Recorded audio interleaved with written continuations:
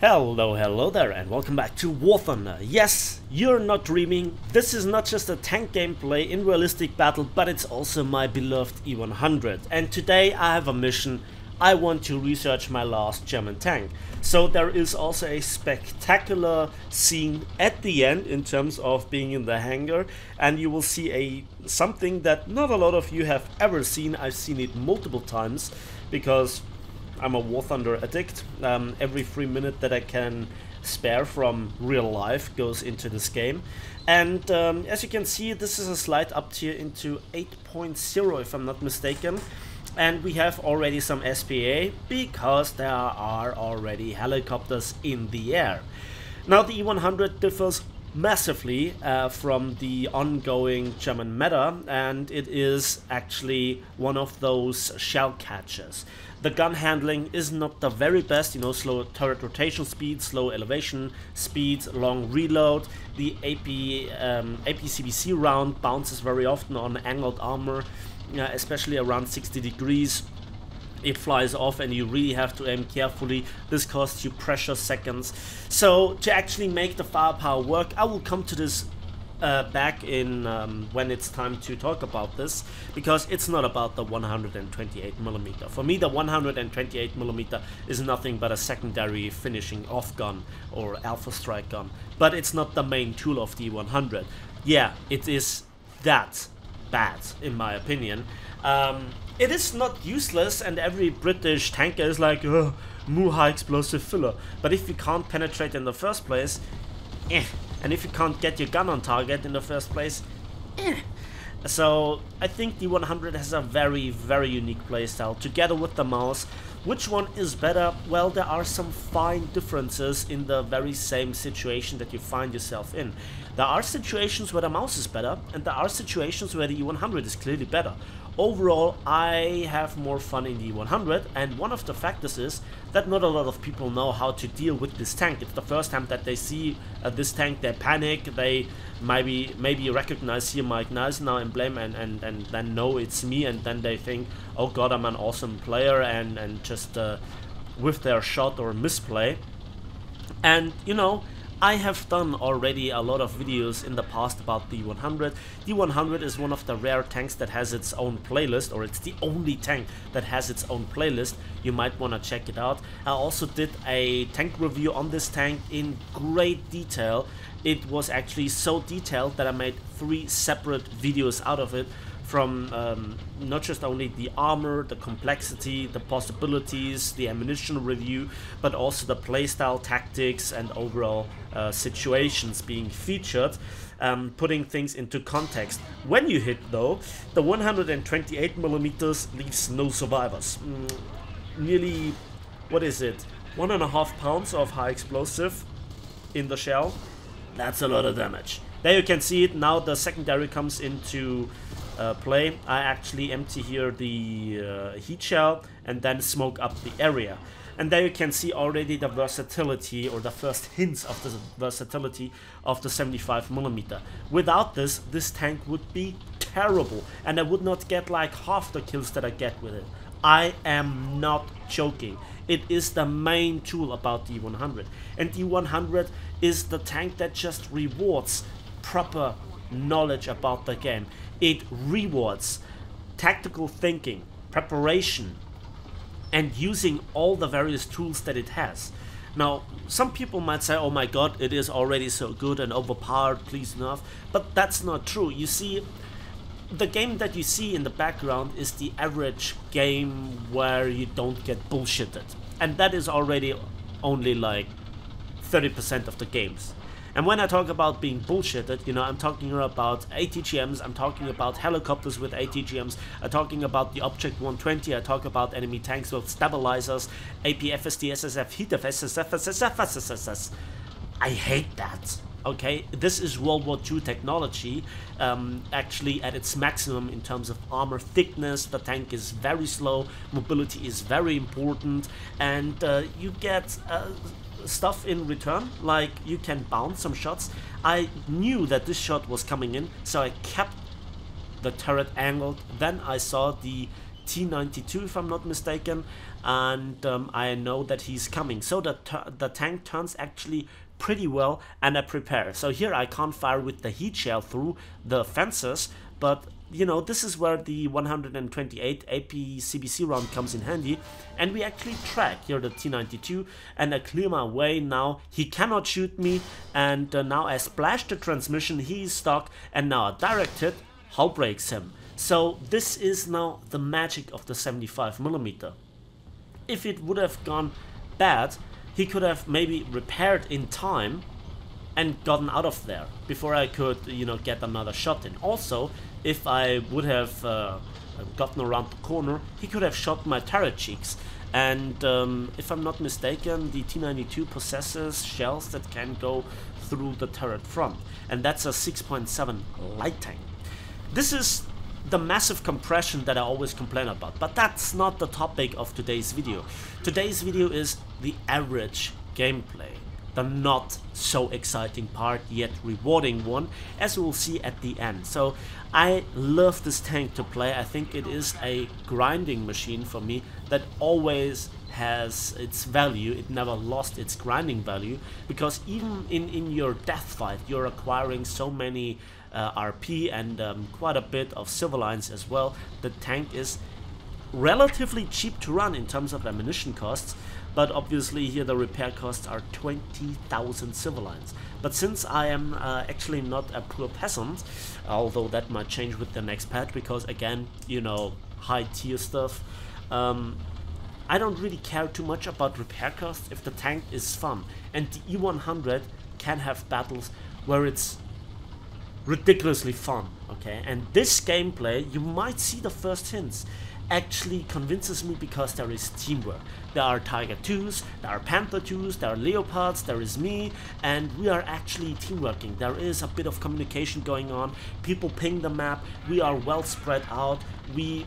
Look, there is another ping on the map. Observe the minimap, talk to your teammates, let them know what you're doing, and um, there you can see the massive advantage of the 100 over the Maus, because the Maus is limited to 20 kilometers per hour and in a straight line on hard terrain you actually can go up to 24 25 um, kilometers per hour. That's already uh, 20 25 percent faster than the Maus.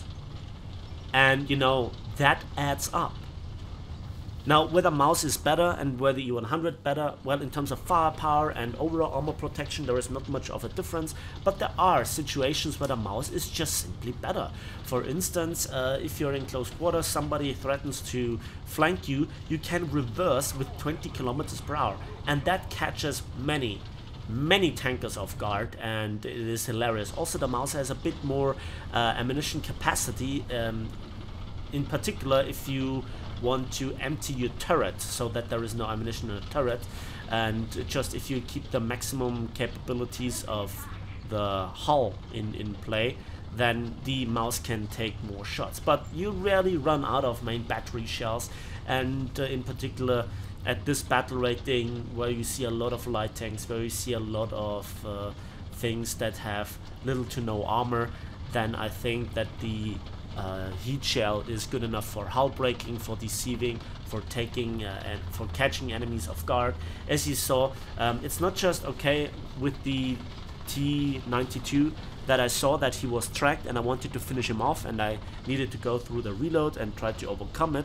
And of course the hull breaking come or came in handy. So this is always an aspect especially at this battle rating there are many light tanks there are many SPAs going around especially late game when they go in and try to um, dagger the tanks down then I think a Leopard has much more to fear than an E100 and the E100 can take the shots and it also can hull break the ones uh, with a rapid rate of fire with the armor. D100 is the perfect counter to SPA now let's talk about the interaction between the 128mm and the 75 and you will see some examples in this gameplay or you have seen them already uh, with maybe one or two coming up next. So in theory the 75mm seems to have not that much use except as I mentioned the heat shell for hull breaking and also the smoke shell for smoking up a capture zone, smoking up yourself, smoking up allies that are damaged that are a bit further away so you're a very good support vehicle in this respect, but also you can smoke up enemy sniper positions and annoy the living fuck out of them. Like Object 120s, as much as I hate them, they hate me as well. Why? Well, because I can smoke up their sniper positions and with the 75mm I can hull break them, whereas I had amazing bounces with the 128mm on this 30mm plating. You might think, yeah, well, overmatch and interaction rules and this and that, eh, forget it. You know, it's a Russian tank. It's magic. I'm, I'm, I'm not exaggerating. I have so brain dead footage. At some point I might make a um, fail compilation. Let me know in the comment section if you want to see this. Now another um, thing about the 75mm is an upcoming scene. So there he whiffs his shots and he sticks around and I actually lurk him with the 75mm. I knew that I couldn't get in the 128mm in time. Now he thought I fired with my main gun and then he came out trying to make another shot and that he regretted dearly because then I had enough moments to get the 128mm online and as you can see I didn't go through his front armor but he exposed the side armor because he wanted to maneuver and this is where the 75mm is maybe not causing the death directly but it greatly helps in tracking enemies, hull breaking them, lurking them out of cover, smoking up. The 75mm for me personally is the main tool. I always work around it. And again, I made um, a tank review on the 100 specifically bragging on about the 75mm for minutes showing you various different gameplays double kills hull breaking just uh, lurking uh, or luring the enemy out of cover you know mind games you name it. And this is what the E100 just where the E100 is so amazing together with the Maus because the weapon system is the same. The Maus has a little bit uh, more ammunition in the hull. Um, I think I already said this, but you know I had to answer a call, so normally I actually ramble on in one piece. I never make any dedicated cuts um, because then I get ripped out of the flow of my talking and um, when I'm talking I know what I'm talking about but the second I get interrupted I forgot what I already have talked about so if I repeat something that's usually when I had to answer a call while recording and uh, so forth. So excuse that. So a little bit of insight in how I do YouTube videos. Now here, uh, why do I park? Here I can actually angle, I actually can observe the enemy's routes to the caps. I'm sticking near B, as you can see I'm the only tank near B. Uh, one uh, friendly heavy tank is coming currently from A to B. But I, you know, there is teamwork going on. My team has pinged the map, we had some communication. Um, there was always a tank uh, near me and I don't want to overstretch. I don't want to roll into the enemy's cap. Now, Italy map is a bit debatable in the map design, but again, not today's topic. What I want to say is that I just stick close to the cap. I can react in time. I can come from an unexpected angle and I hope that I don't get uh, ambushed and now I want to relax here a little bit. Again, not the most outrageous game here. I had better games, more caps, more kills, more action going on. But this is the average game. If the enemy does not always present itself in huge hordes that you just can simply farm, which is nice when it happens, but it's rather the exception. So this is therefore the title The Average Game. Now just in a moment some action will happen and I uh, parked here also because the guy that I killed actually uh, called me out and said I'm in the 100 kill him and there we can see the BMP2 and obviously he tracks me, he uh, killed my gunner. Now I try to angle here my armor, my turret in particular, and um, I receive another shell and it has taken out the main gun, but not the 75 millimeter. Actually, I'm doomed. I should ping here the map, but now the BMP2 is making a massive error here. Uh, he takes out the main gun, but what is the main gun? The main gun is useless. I would overpenetrate him. And so I wait, then I had a ping, and uh, now I actually hull braked him because I had here a, a bit of a shot delay, and then the Panther 2 came in and uh, if not for my 75mm hull breaking him, he potentially could have dealt with the BMP2. I hate BMP1s, BMP2s, everything with ATGMs, everything with APFSDS, FSS, and HETAS FSS, SSDS, whatever. I hate this. It should not interfere with that kind of technology. But in fact, the most difficult tanks that I have to deal with are tanks like the IS-3, like the IS-4, um, like a well-played um, M103, or even, you might not want to believe it, an American T-34 or T-29. Very often they are more dangerous because they can one-shot me through the cheek. And um, it is always very debatable, but if you play hundreds and hundreds of games in arcade, in realistic, with the 100, with the Maus, this is what it boils down to. And you have so much damn difficulty dealing with them, because then the shell just... The explosion disappears inside of the tank, because of uh, armored layout, uh, armor layout. Um, you have the disadvantage in rate of fire, except for the Russians, but then they are nearly impenetrable if they angle right. Yes, even in the IS-3 with the peak nose design, but I digress. Let's talk about the results. Let's talk about what I just earned in this battle. And uh, yeah, the result doesn't really look that awesome. And then the talisman comes in, a 10% booster, the premium account, and we got just 32,000 Silver Lions for our 4 kills and uh, also 1 zone captured, but 15,000 vehicle research points.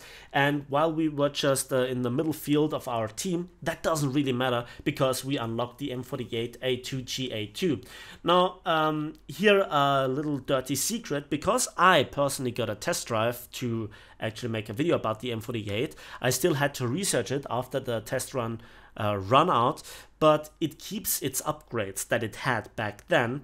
And uh, this is now something very nice. Now you can see I'm down to 107.6 million Silver Lions before I purchase it.